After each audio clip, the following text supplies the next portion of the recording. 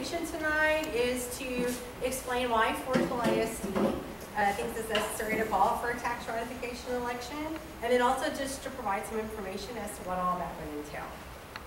So, um, just looking at a history of uh, state funding of public education in Texas, since 2010, the state's reduced its funding to Texas public schools uh, to the tune of $6.5 billion, and that is with a B.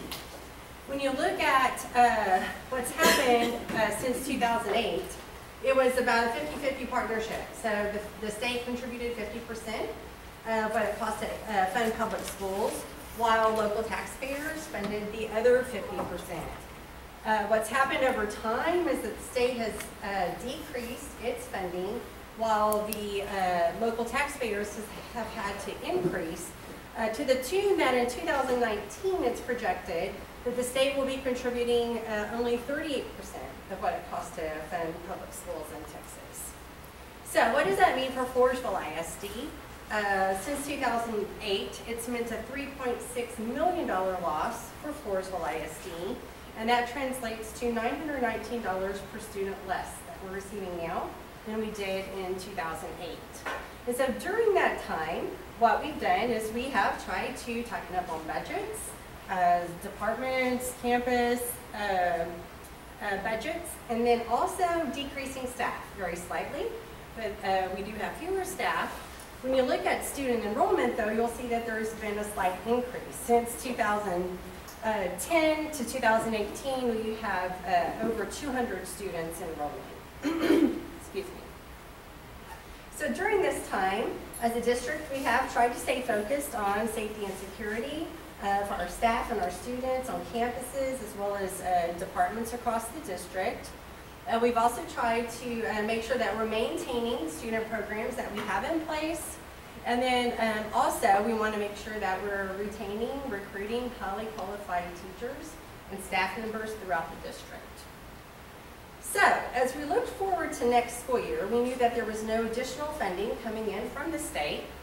And uh, we identified a TRE as an option that would generate an additional $1 million uh, for Floresville ISD at no cost to our local taxpayers. And so you might think, hmm, so how does that happen? So we have a, a brief video to show, uh, to explain it a little bit further. We'll provide some additional information and then be glad to ask, uh, answer any questions that you might have. The Floresville ISD Trustees is called a Tax Ratification Election, or TRE, set for August 25th. This short video will explain what a TRE is and demonstrate its effect on Floresville ISD. The purpose of a tax ratification election is to ask the community to consider approving a tax rate to maximize state funding if passed, the proposal would allow Floresville ISD to gain an estimated $1 million annually in state funding without increasing the total tax rate. How is this possible? The Floresville School District is primarily funded through local taxes and state funds. Local taxes are collected and go into two different funds, Maintenance and Operations, or M&O, and Interest and Sinking, or INS. The M&O side pays for everyday district operations including salaries, books, and building maintenance, while the INS side is similar to a mortgage and can only be used to pay the debt on school bonds. Bonds pay for new school construction and other capital improvements. The Board of Trustees has set the total tax rate at $1.575 $1.17 for M&O, and $0.405 for INS. You will see the total tax rate of $1.575 on the ballot. If voters approve the $1.575 total tax rate, our board by resolution has already approved reducing the INS tax rate by 13 cents from $0.405 to $0.275 rolling back our overall tax rate to $1.445. Voting yes for the TRE means exchanging 13 pennies from the INS side and moving them to the M&O side. The result of this exchange means more state funding for Floresville ISD, and doing so will not affect our total tax rate. However, as we said before, the penny exchange will generate an estimated $1 million in additional state revenue annually. So what will the additional $1 million be used for? Since 2010, the state has reduced Floresville ISD's funding by $3.6 million. That's $919 per student and $20,221 for a classroom of 22 students. Simply stated, the money from the TRE will be used to offset this loss. Again, whether the tax ratification election passes or fails, there will be no increase to your district's total tax rate. If the TRE does not pass, the M and O tax rate will roll back to $1.04 and the INS tax rate will remain $0.405, resulting in a total tax rate of $1.445, the same rate we've had the past three years. However, if the election fails, the school district will receive no additional state funding. Our Board of Trustees has called the tax ratification election, but the voters are the ones who decide the outcome of the election. All eligible registered voters are encouraged to become informed and exercise their right to vote in this election. Early voting begins Wednesday, August 8th, and continues through Tuesday, August 21st. Election Day is Saturday, August 25th, from 7 a.m. to 7 p.m. Voting locations and additional information can be found on the district website at www.fisd.us.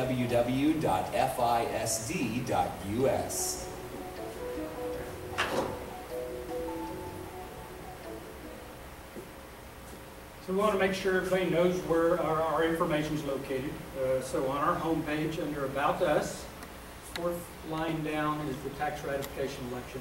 Uh, there you'll find a copy of our flyer, a copy of the video, copy of the order, uh, ordering the election, uh, the ordinance setting the tax rate, and a copy of the resolution uh, that uh, rolls back the INS tax rate. And we also have the frequently asked questions on there that that one does change as we get additional questions.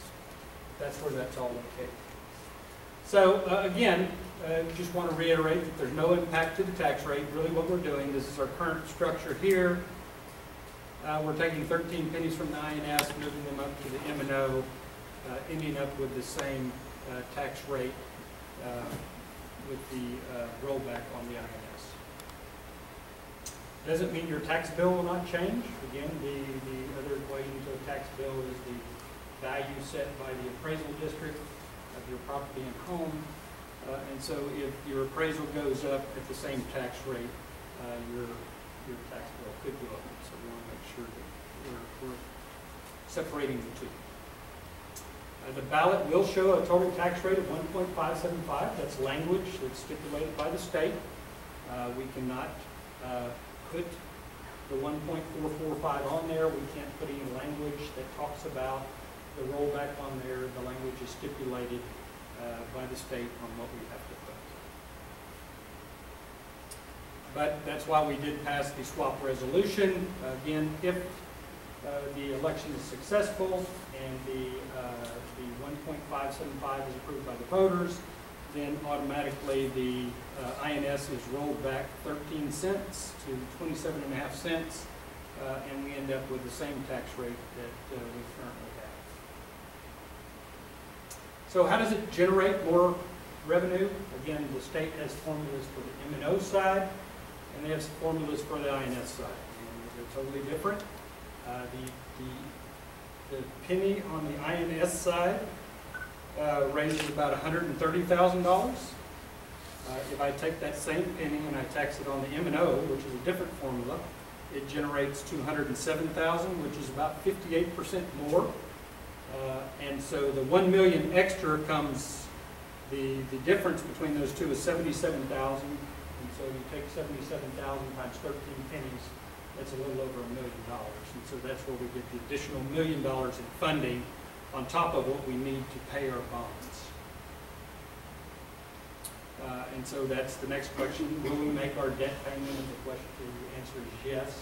We're not changing our debt schedule, we're not changing uh, anything with our debt payments. Uh, We will still generate enough to make the debt payment plus the additional million dollars.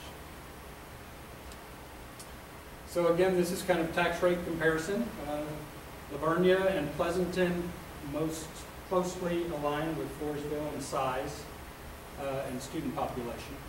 And so uh, we're kind of right in the middle. Um, South Side has already done a TRE. Uh, Pleasanton actually is doing one the same day we are, uh, along with some other districts. Historically, the, the district has really tried to bring taxes down as they can through refundings and increases in the, uh, in the appraised values. And so that's how we've been able to do that as we pay some debt off and values go up slightly. So summing it up, no tax rate increase, uh, and then Floresville ISD would net an additional million dollars uh, on their maintenance and operations side. Uh, We did call the election in June. Early voting starts Wednesday, this Wednesday, August 8th, through the 21st, and it's all taking place over at the county elections office on 4th Street here.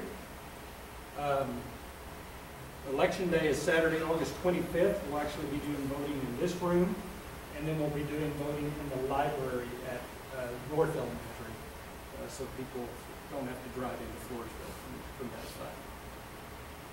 And With that, Going to talk a little bit about the flyer and the frequently asked questions. Thank you. Okay, so this is just one of the articles that we have out on the website to refer to if people may not have seen the presentation or if you'd like to go back and clarify some of the facts. So it starts out by talking about what is a TRE, um, and what we're trying to do is swap the pennies. So they can get information there. Additionally, we have a good visual here that just shows the buckets. So we're moving the pennies from the INS bucket over to the M and O bucket. And again, the visual that um, we went over earlier where we're swapping the pennies from the INS and just moving them up to the M and O to keep the total tax rate. So whether or not the election passes or fails, your tax rate will stay at 1.445. Goes down here to go on about how, um, why we're moving the pennies um, and the funding formula. So what can FISD do with the additional million dollars? We uh, list some things here. What are our priorities in the district? We have a great graph listed on the flyer that shows back in 2008, the, the state was pitching in the 50%, and then over the course of the past 10 years, how that has dropped down to a projected 38% for the next year. We go on to talk about the tax rate history, trying to show that we've been fiscally responsible and uh, refunding those bonds and um, lowering tax rates as the property values have increased somewhat. We talk about some things that we have done to offset this uh, deficit from the state. And then we state down here, because uh, a lot of times people never heard of a TRE, it is actually common. There are over 425 districts and counting in the state who have successfully passed TRE since 2010. We additionally have election day information. And then we move on to our FAQ document. So I'm going to go over a couple of questions. Um, some of them are the more recent ones that uh, we've seen out on social media and in the newspaper and stuff. We're trying to address those questions as they arise. Um, we have the wording on the ballot so that people can look at it and, and understand that it will not show that we have adopted that resolution. It, uh, and then, of course, the or- ordinance to set the tax rate, which would roll that uh, dollar five seven five back to a dollar forty-four. So we have the documents, the election order, the ordinance, and the resolution, which all indicate that we will roll the INS tax rate back to 0.275 if this election passes. So is the additional $1 million that would be generated by approving the TRE a one-time increase to the district? The answer is no. We will continue to receive that additional 1 million each year as the state will continue to contribute that extra 50, 58% for each of those 13 pennies on the M and O side. So I have a, an example down here. If you put $100 in a savings account and it earns 58%, you're going to earn $58 that year. Next year, you put $100 in a savings account, it can earn 58%, so you'll get that same $58 each year as you have that $100 to start with. Is the TRE the same concept as the Connally Memorial Hospital rollback election? No. The difference between the hospital rollback and the school district TRE is the school district election is automatic if the tax rate is set above the rollback rate. For other entities, the election is only required if a certain number of registered voters sign a petition to hold an election, which was the case for the hospital last year. If there is no petition, then they do not have to hold an election. And here's one, um, you guys may have seen an article in the paper recently talking about the Klein ISD TRE. So, is there a difference between the TRE that FISD is- is proposing and the one that Klein ISD voters rejected in June 2018? Yes, there is a difference. Klein ISD did not include a penny swap. They were trying to increase their overall tax rate. They were going out to just increase. Excuse me. At the FISD board meeting in June, our school board approved the resolution to roll back the INS tax rate by those 13 pennies if the TRE passes, which will result in no increase to the overall rate for the FISD taxpayers. Excuse me. Will the board need to adopt the penny swap annually? No. The FISD school board voted to increase the tax rate to $1.575 by adding 13 pennies to the M and O. However, the resolution they adopted in June will automatically roll the INS 13 pen, excuse me, roll back the INS 13 pennies if the TRE passes. The 13 pennies that were moved from the INS to the M and O as a result of the penny swap will remain in the M and O indefinitely or until the state changes its funding formula. Each year, those pennies will continue to generate more monies than they would have on the INS side. Within the budget that is approved by the school board prior to each fiscal year, it will be noted that the excess monies generated by the M and O side will be used to cover the INS debt. The district is required by law to ensure that their debt payments are paid. And we're gonna open it up.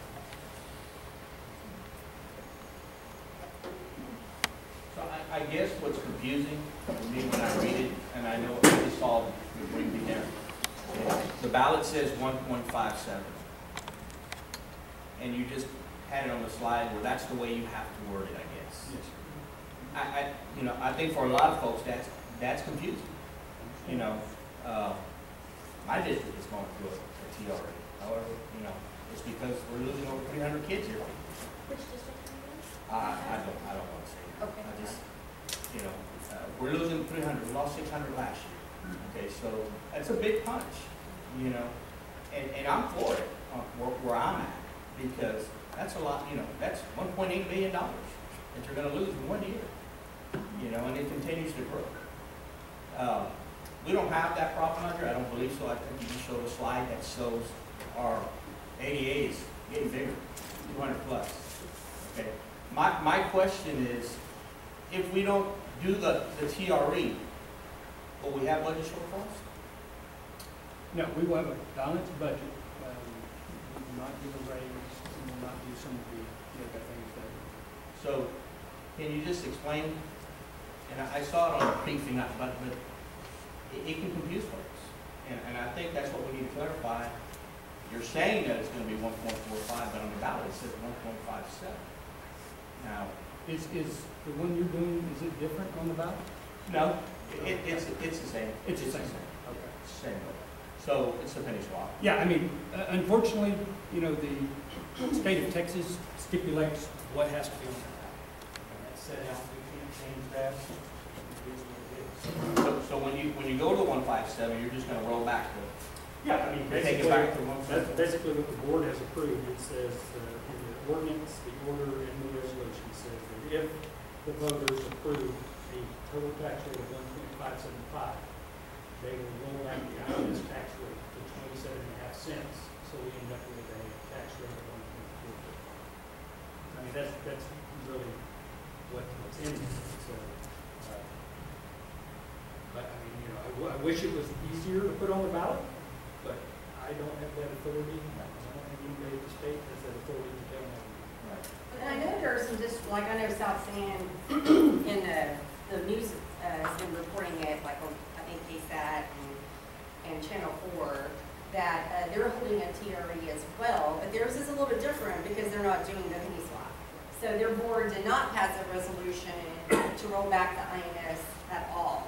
And so, uh, and so that's an example of where, uh, I mean, it doesn't matter if that's a district that you're at or not, but it's an example of how some theories are different than others in the, in the aspect. But the difference, my, one of my questions, I guess, are concerns. A dollar fifty-seven on the ballot. Okay, anything on the ballot is permanent, that's legal, that's law, okay? The penny swap, which is totally separate from the election, that's a resolution established by the board, that it's a resolution, it's a decision that the board made that they can change next year or the year after, or the year after by passing another resolution, yes or no?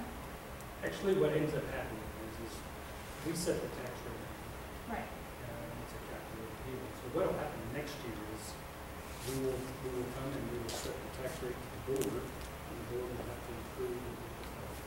But they'll have to establish another resolution, There won't be another resolution, it'll just be part of the ordinance because if next year do you decide, okay, our tax rate, well, we're already at the one, a dollar fifty-seven, but, Well, no, we would be at one point four four five.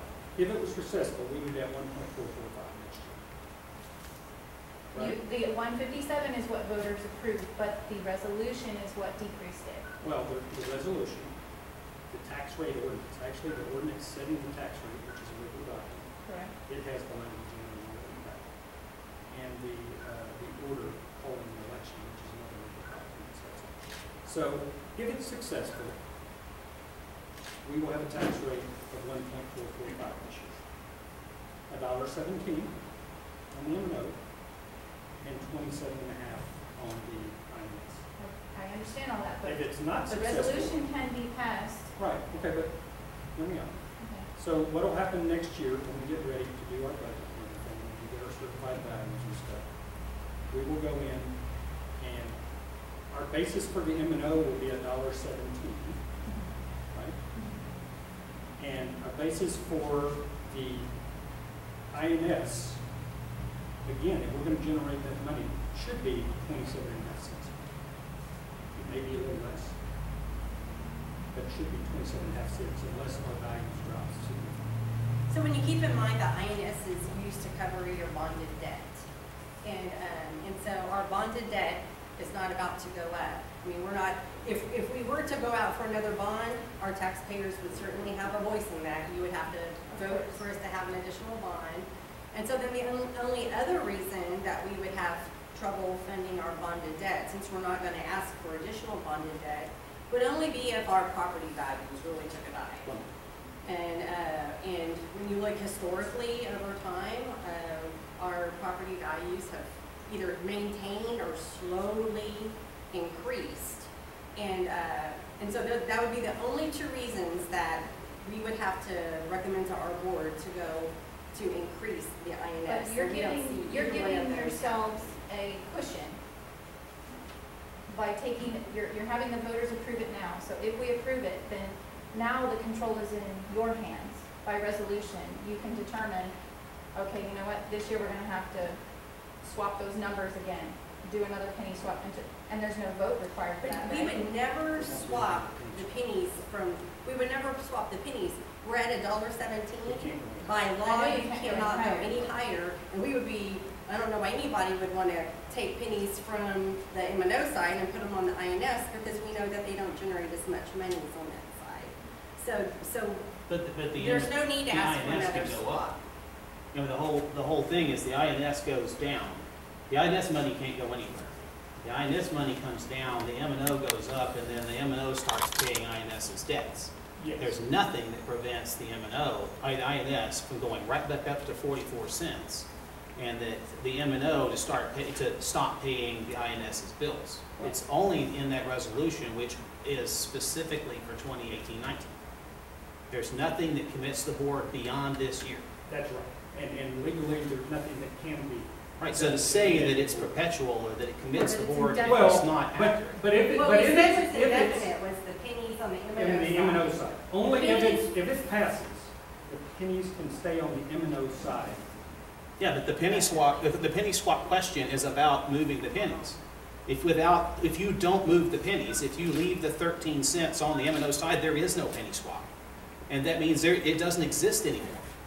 Right. Now it's just a straight TRE. So, so the, the answer is avoiding the question. The question We'll go back to the question. it's in the TRE fact, right? It says, does it have to be renewed? If the, if the board next year, and, you know, and once the TRE passes, there's one point four million dollars laying on the table. And all they have to do is pick it up. And, and so every year, the, the, the Austin's gonna pay a little less on that million dollars. So next year, say it's eight hundred thousand dollars. And then the year after that, say it's five hundred thousand dollars. So your budget's getting squeezed, the M and O side is paying bills for the INS side, and there's thirteen cents just laying there to be picked up. And all it takes is the board that year to go, you know what? We're gonna move the INS side up to forty-four cents, and we're gonna take that part off, and now it's all nice and clean. It's just like it was last year. You know, the, the way that, the way the formula works, right? The, the, the penny swap will completely evaporate. So it's not permanent, it's not indefinite. It depends upon an action of the board every single year, or it goes away. The board has to set the tax rate every year, but they don't have to pass a resolution swapping pennies every year. They have to approve setting an M and O tax rate of $1.17 and an IS tax rate of something. Right, but as soon as they move it up, that is how the penny swap works, is that ordinance. That was. No, I understand, but there's no, there's no penny swap, it's just approving the tax rate, just like we would every year. And, and that's the action that the board has to take every year. But it gives them No that. matter whether we had a penny swap resolution or not, they have to set the tax rate. And in the past, it's been a dollar four. If the election passes, it would be a dollar seventeen. If the election doesn't pass, it would be a dollar four. So there's no promise that the following year or the year after that, or future years, that that one dollar forty-four cents will stay there, because now you've given yourself that cushion up to one dollar fifty-seven cents. There is no legal way for us to guarantee in writing to anybody what a future board can do. I mean, I, I just, Right, but that's, that's what that essentially is doing, is we're approving it now for future use, basically. you're, you're approving it now to move it over to the M and O side. Well, no, we're then- approving the dollar fifty-seven now, Right. but that gives you, all the board, the flexibility in future years to play with that number up to a dollar fifty-seven, which is what voters approved. It gives us the ability to set the INS, the M and O tax rate at dollar seventeen. The INS tax rate is a calculated rate based upon my debt payment versus my appraised values.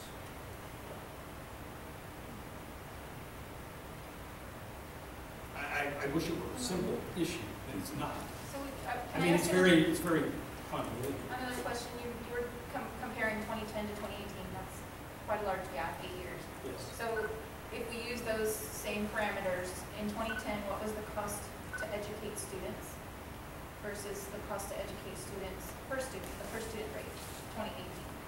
Actually, you have some good data on uh, the fact that it was in 2008 that really the economy, Yeah, when, on a per pupil level funding, and you go to the uh, state website and see, when they cut the five point oh billion out of education that year when the economy kind of took the crash, uh, we have yet, on a per pupil basis, the state of Texas has yet to come back and fund their portion to the same level that it was in 2008. But that doesn't answer my question. So what, what is, what was the cost to educate one student in 20, 20 2008, or 2010? And then what is that cost in 2018? I would have to do that. And I would, I I'm would just asking because those were the parameters Right, you used in the slide, and you said, you only mentioned what you were losing versus what it costs to actually educate. I'm going to say it's probably a little more expensive now, but I'm going to say it's all been on the burden of the local taxpayers. I mean, I mean, unfortunately, that's the way the state is set up here. Uh, But I'm, I don't know those exact things, but we can look that up. Put that as an FAQ. I, I think at the end of the day, I don't think anyone here is against what you, you- you know, the things you put on the board, you know, of course, you know, student outcome is, is the first priority for any school district. and getting them the things that we need, so. So what, are- are we adding anything this year that we didn't have last year? That's, that's, you know, what, what kind of programs, when, when you have on the board, like you said raises and student, Student programs. yes, sir. Are, are we adding student programs this We're- year? We're not, we're not proposing to add any, we are supporting uh,